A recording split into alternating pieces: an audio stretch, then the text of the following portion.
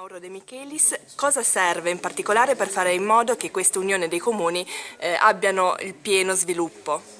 Beh, come sapete da un anno abbiamo costituito la nostra bellissima Unione dei Comuni Valmerola e Montarosio che comprende cinque comuni, tre della provincia di Savona e due della provincia di Imperia.